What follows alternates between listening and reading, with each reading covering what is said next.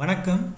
Welcome to currents com good morning இன்னைக்கு இந்த வீடியோவில் கிராம்ஸ் ரூல்னால் என்ன? அதனுடைய பயன்கள் என்ன? எஸ்பெஷலி இன் அசிமெட்ரிக் சிந்தசிஸ் இதை பயன்படுத்தி நம்ம அசிமெட்ரிக் டயஸ்டீரியோமர்ஸ் வந்து சிந்தசைஸ் பண்ணலாம். ஓகே ஓகே கிராம்ஸ் ரூல் வந்து இஸ் அப்ளிகபிள் ஃபார் கார்பனைல் காம்பவுண்டுக்கு பயன்படுத்தலாம். இது பயன்படுத்துவாங்க. இப்போ கார்பனைல் காம்பவுண்டுனா என்ன அப்படின்னா எ கார்பனைல் கார்பன் எடுத்துக்கிட்டிங்கன்னா it is SP two hybridized and therefore planar this is a planar molecule carbonyl. ஏன்னா எஸ்பி டூ ஹைப்ரிடைஸ்ட் பிளேனார் அப்போ என் நியூக்ளியோஃபைல் வந்து பாருங்கள் இந்த சைடும் அட்டாக் பண்ணலாம் இந்த சைடும் அட்டாக் பண்ணலாம். Okay so a nucleophile can attack the carbonyl carbon from either side of this plane with equal equal okay இப்போ during this reaction a new asymmetric centre is created ஒரு அசிமெட்ரிக் சென்டர் வந்து form ஆகும் ஏன்னா இது வேறு group இது வேறு group இது வேறு குரூப்பு அப்போ ஓஹெச் ஃபார்ம் ஆகுது அப்போ இதில் பார்த்தீங்கன்னா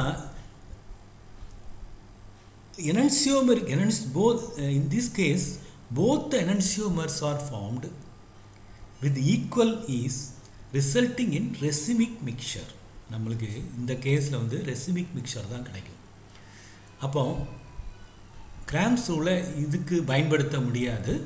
Okay so this is fundamental to understand Cram's rule இது வந்து fundamental to understand Cram's rule next ஸ்லைடில் நம்ம பார்ப்போம். Okay Cram's rule is useful for asymmetric synthesis நம்ம இது ஏற்கனவே பார்த்தோம். ஓகே இப்போ what are the features of Cram's rule Cram's ரூலுடைய முக்கியத்துவம் என்ன? அப்படின்னு பார்த்தீங்கன்னா this rule is applicable for carbonyl compounds okay attach to an asymmetric carbon center. The carbonyl compound in which the carbon is attached to an asymmetric center. Okay இது ஒரு condition first what are the conditions right அடுத்து பார்த்தீங்கன்னா it இன்ஃப் இப்போ இப்போ nucleophile வந்து இந்த attack பண்ண வருது. இப்போ this centre influence the attacking nucleophile இப்போ அட்டாக்கிங் நியூக்ளியோஃபைல் வந்து இந்த குரூப் இருக்கிறதுனால அது எந்த சைடு வருதுன்னு தெரியாமல் இருக்கும். Okay so it studies the influence of asymmetric centre on the incoming nucleophilic nucleophile attack அப்போ this this results in the nucleophile attack ஆன பிறகு there is results in the formation of one of the major diastereomer ரெண்டு இந்த side attack பண்ணலாம் இந்த side attack பண்ணலாம். ஆனால் இந்த குரூப் இருக்கிறதுனால என்ன ஆகுது ஒரு சைடு இருந்து தான் அட்டாக் பண்ண முடியும். ஒரு சைடு இருந்து தான் அட்டாக் பண்ண முடியும்.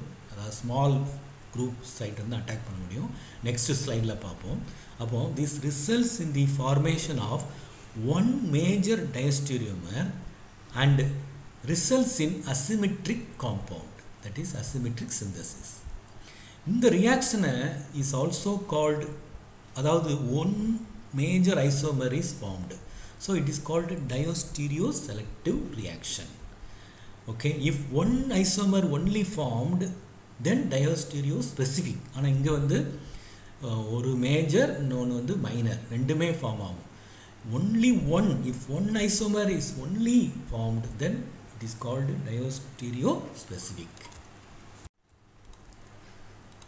Okay, there are three steps involved in Cramp's rule. Let us consider a carbonyl compound.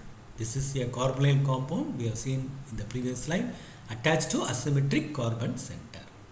Okay, first first step.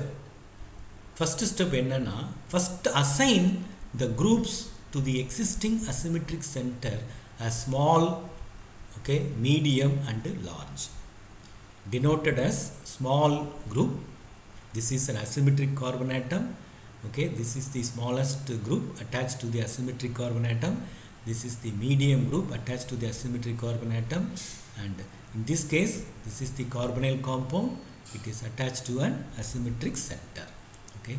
Phenyl group is the largest group. First நீங்கள் அசைன் பண்ணிக்கோங்க. அடுத்து என்ன செய்யணும் அப்படின்னா இந்த ரியாக்டிவ் கன்ஃபர்மேஷன் இது வந்து ரியாக்டிவ் கன்ஃபர்மேஷன் கிடையாது. இந்த இதுதான் ரியாக்டிவ் கன்ஃபர்மேஷன் ஏன்னா ஓரியன்ட் த இந்த இருக்குல்ல இந்த orient orient the carbonyl group between H and அதாவது ஸ்மால் அண்டு மீடியம் ஸ்மாலுக்கும் மீடியத்துக்கு இடையில் இந்த கார்பனியல் குரூப்பை ஓரியன்ட் பண்ணிக்கோங்க அப்படிங்கிறாங்க. இந்த reactive conformation orient the carbonyl group between smallest and medium group by rotation of this by rotation இதை நம்ம இப்படி இந்த குரூப் இங்கே கொண்டு வந்துருங்க இதை இங்கே கொண்டு வந்துருங்க இதை இங்கே கொண்டு வந்துருங்க. Okay so by rotation through C C bond this conformer is up time this conformer is up time இந்த கன்ஃபர்மர் உங்களுக்கு கிடைக்குது. அப்போது அதுதான் செகண்ட் ரூல் சொல்லுது. அப்போது நம்ம கார்பனியல் குரூப்பை எதுக்கு இடையில ஓரியன்ட் பண்ணிக்கோங்கங்கிறாங்க? ஸ்மால் குரூப்புக்கும் மீடியம் குரூப்புக்கும் இடையில. அடுத்து இந்த தேர்ட் ஸ்டெப்பில் தான் நியூக்ளியோஃபைல் வந்து அட்டாக் பண்ணுது. இந்த அட்டாக்கிங் நியூக்ளியோஃபைல் உட் ப்ரிஃபர் இப்போ இதை வந்து நம்ம எப்படி எழுதுகிறோம்னா இது பின்னாடி கொண்டு போயிருங்க இதை முன்னாடி கொண்டு வந்துருங்க. யூ பிரிங் இட் இதை வந்து முன்னாடி கொண்டு வந்து this is Newman projection formula okay இது வந்து நியூமன் ப்ரொஜெக்ஷன் ஃபார்முலாவில் எழுதிக்கோங்க. அடுத்து இந்த அட்டாக்கிங் நியூக்ளியோஃபைல் அதாவது இதை கொண்டு உங்ககிட்ட கொண்டு வந்துட்டு இப்போ ஹைட்ரஜன் இங்கே இருக்குது மெத்தில் குரூப் இங்கே இருக்குது ஃபெனைல் குரூப்பு இங்கே இருக்குது. இப்போ இந்த attacking group would prefer to attack from the side of small group resulting in the formation of predominant formation of one of the stereoisomer okay அதுதான் வந்து கிராம்ஸ் ரூல் அப்போ டயோஸ்டீரியோ செலக்டிவ் ரியாக்ஷன் இதில் நடக்குது. So this results in asymmetric synthesis okay இப்போ கவனிங்க. Nucleophile வந்து prefers to attack from the small group இந்த இது இதில் அட்டாக் அதே தான் நம்ம போன ஸ்லைடில் உள்ளது அப்படியே கொடுத்துருக்குறோம். ரைட்டாக இங்கிட்ட அட்டாக் பண்ணுது. அப்போது என்ன ப்ராடக்ட் கிடைக்கும் அப்படின்னா நீங்கள் பார்த்தீங்கன்னா இது வந்து ஓஹெச் வந்துடுது இங்கே வந்து நியூக்ளியோஃபைல் வந்துடுது இங்கே வந்து இந்த இது புஷ் பண்ணி இங்கே ஆறுங்க இங்கே வந்துடுது ஹெச்இ எம்இ ஃபினைல் குரூப்பு இந்த இருக்குது. பின்னாடி இருக்கிறது பின்னாடி இருக்குது. Okay this is the major product அடுத்து மைனர் ப்ராடக்ட் என்னென்னா இந்த nucleophile it can also attack from this side ஏன்னா ரெண்டு there are since it is a planar it can be attack from this side or from this side ஆனால் இதில் மீடியமாக இருக்கிறதுனால இந்த சைடு ஸ்டெரிக் ஹிண்ட்ரன்ஸ் இருக்கும். அப்போது this is formed as minor product இப்போ நியூக்ளியோஃபைல் இந்த சைடு போட்டிங்கன்னா ஆர் குரூப்பு கிட்ட வந்துடும் மற்ற எல்லா குரூப்பும் அப்படியே இருக்கும். This is formed as minor product okay அப்போ this is known as Cram's rule when the starting material is pure enantiomer இப்போ நம்ம ஸ்டார்டிங் மெட்டீரியலை வந்து ஒரு பியூர் எனன்சியோமர் எடுத்துக்கிட்டோம்னா கார்பனைல் காம்பவுண்ட் அசிமெட்ரிக் காம்பவுண்ட் அது வந்து ஒன் எனன்சியோமர் டி ஃபார்ம் மட்டும் எடுத்துக்கிறோம் அல்லது எல் ஃபார்ம் மட்டும் எடுத்துக்கிட்டோம்னா அப்போ இங்கே நம்மளுக்கு கிடைக்கக்கூடியது வந்து என்னென்னா the product would show predominance of one enantiomer தான் நம்மளுக்கு கிடைக்கும். அப்போ இந்த predominance of one diastereomer in such reactions could be explained based on the Gram's rule. This rule proved to be effective in predicting the major product in most of the asymmetric synthesis. நன்றி thank you for வாட்சிங் subscribe பண்ணுங்கள் share பண்ணுங்கள் நன்றி